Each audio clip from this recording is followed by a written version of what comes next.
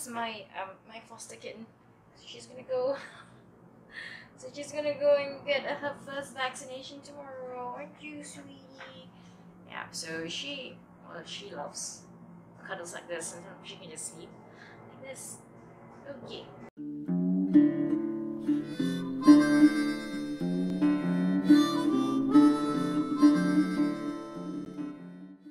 Hi everyone and welcome back to my channel. So you've probably decided that you're going to do your graduate studies full time and perhaps you've got a stipend or perhaps you're just like me. Um, you're self-funding your um, education. So is 1,000 Singapore dollars or about 550 pounds is it enough to sustain you for a month? Stay tuned and find out. Right, so before you get to budgeting, there are three things that you really need to pay attention to. First, identifying your income streams. Second, doing a balance sheet. And the third, and most importantly, stick to it. Okay, so where do you start doing your balance sheet? So if you have um, the current Windows 10 and are using Microsoft Office for home or for student, then you should have um, these options when you open Excel. So when you open a new Excel page, it prompts you to choose one of these. Let's just go straight to budgets. So as you can see, there is a lot of templates here already and so you can choose what you like. Um, I had initially used this one, then I found that it was a bit too complicated so nowadays I just use this, which is very simple and you know easy to use. Basically, you just put in your income and then put in your expenses, and it tells you how much you have left, and also tells you you know what percentage of your income that you've been using. So let's see. So here is probably a sample of what uh, my monthly budget could look like if I was still working. So you see, it tells you your income, expenses, and your balance. Well, 1004 is actually not too bad uh, for savings. Right, so under your income, you can actually put the different streams of income. And then after that, uh, under your expenses, um, these are mostly your mandatory expenses. So it is very important to ensure that you put all your mandatory expenses, so these are the ones that are recurrent and are of a fixed amount. And then at the bottom, well, you can also create different tabs or, you know, simply add depending on how structured you are. So, for example, today I took taxi, send the cats to the vet. So that's about $40, right? And you will see that this is automatically reflected here. And the balance is also updated. Now, the thing about doing a balance sheet is that you have to be really disciplined. So, you know, throughout the month, you need to keep on adding new expenses that you didn't foresee, and then um, to ensure that your balance does not dip to zero or negative. So, we'll see how well or how badly I've done over the last few months. So, as you can see, I did pretty badly on my first month. But for the second and third month, it was quite decent. So um, for the third month, I exceeded by $10, but because there was a savings on the second month, um, it's actually okay. Uh, also, as you've noticed, the income uh, the income that I have per month is actually more than a thousand dollars. Well, that's definitely cheating, isn't it? Well, here's the truth, right? One thousand dollars is really difficult. So you have to go and work part-time to get that extra income. So for me, um, I actually give uh, personal one-on-one tuition and um, I charge it about $50 per hour.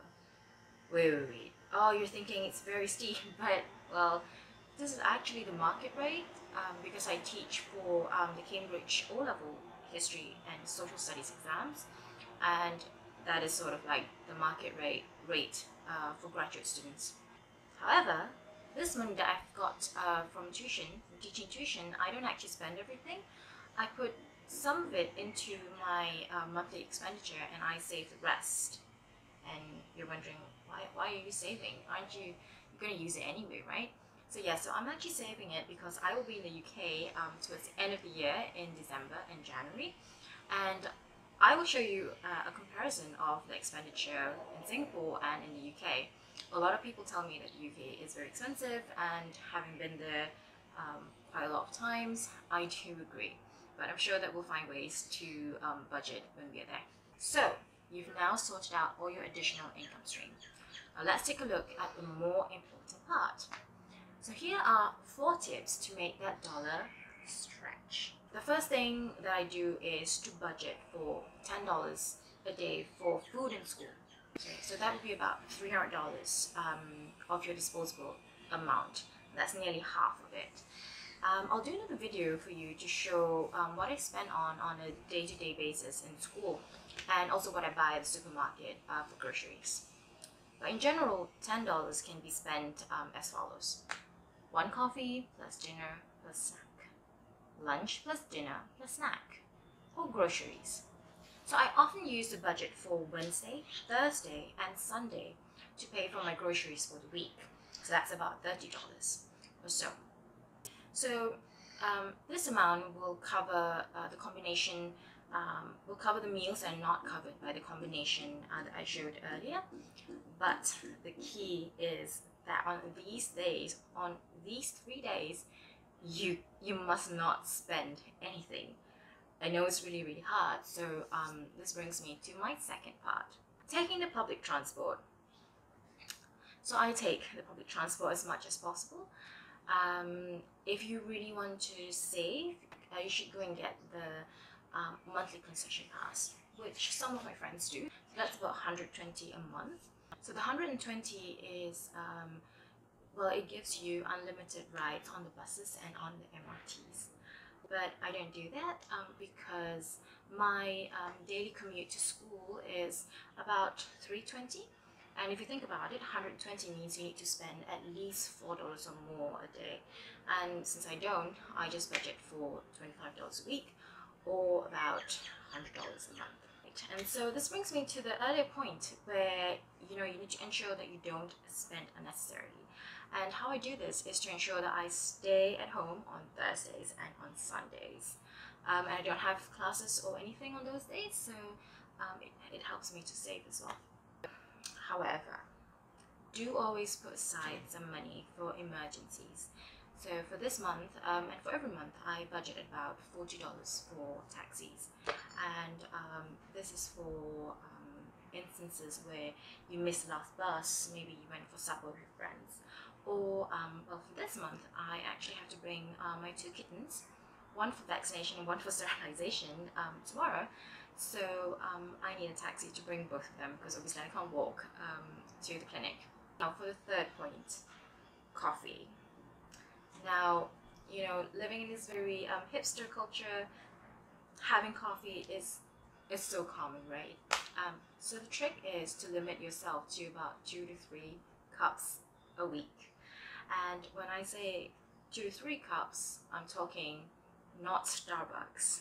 Okay, so there are many um, cafes in university and they charge about $3.20 um, per cup of say about a flat white or so and that's actually pretty decent that's it actually is even half the price of what you can get for a tall latte in um, Starbucks so an alternative, if you are out and about, is to actually go to McDonald's.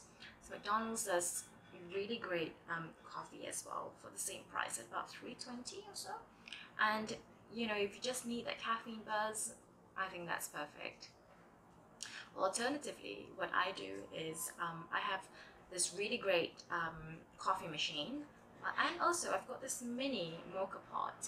So it depends on what coffee I have. Um, but usually um, an entire sachet like this can last me for about two to three weeks and um, I have that every morning so whether or not I go to the cafe I know that I've got some caffeine in me and that should usually um, get me started for the day. Now for the last and final point allow yourself a small budget to spend on whatever you want. So for me I budgeted about a hundred dollars and this can include things like movies or you know buying that extra pair of jeans that you absolutely need. um, or you know even just treating yourself to a restaurant because really right you can't just eat like cheap food every day or home cooked food every day you might get sick um, so last month I spent on a sweater um, a pair of jeans well really cheap um, at discounts and um, this month I treated myself to a sushi meal so that's how I spent my $100. However, if you want to buy bigger ticket items, well, of course, then you can just accumulate that extra money that you put aside um, and spend it at a later month. So there you have it? Being a student is really, really hard. Um, you know, sometimes you have to understand that this is just temporary. But you're your back at school doesn't mean that you have to be a commercial aesthetic. Just make sure that you treat yourself um, once in a while you know, for the little things that are really, really important. And, you know, most importantly, you've earned it for working so hard to stay within budget.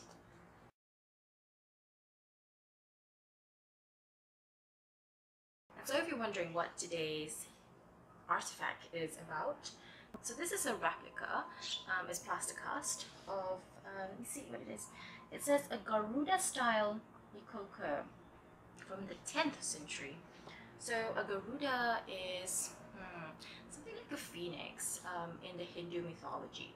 And so um, I got this in Cambodia. Um, it was not at an antique store. It was actually at the Cambodia um, National Museum, if I'm not wrong. And so they, they sell um, this sort of replicas because they want people to not steal from them.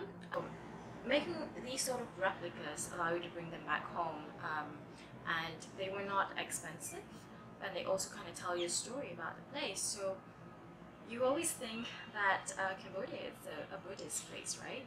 Um, yes, but first, before Buddhism came, Hinduism came um, India and via trade as well. So um, we have a lot of these sort of stuff, um, and these features, right, if you can see, kind of looks like a person as well. And these um, Indic features or or um, characters that come from the Mahabharata or um, the Ramayana, they will be repeated um, later on when we see things from Indonesia, like Bali, for example, or even in Thailand um, and Burma. Right, so thanks for watching, everybody, and if you've not subscribed, just click on the link below. And we'll see you in the next video. Bye!